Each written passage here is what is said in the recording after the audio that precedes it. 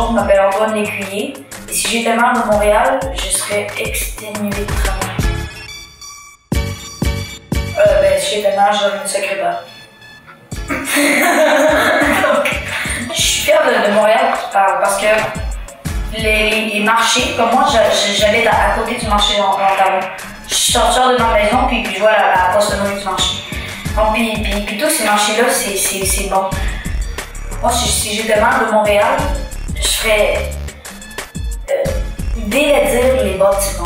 Parce que moi, je suis, je suis allée à Berlin, puis la- l'architecture était magnifique.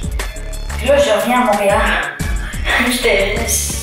Les, les, les bâtiments ici, je les trouve laids.